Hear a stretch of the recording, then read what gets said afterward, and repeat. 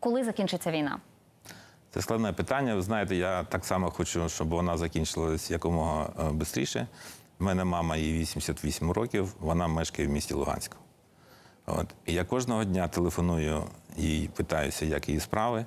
От. Вона кожного дня майже плаче і хоче, щоб ми, е, вона побачила онуків, щоб ми зустрічалися, щоб ми жили разом. Це дуже складне питання.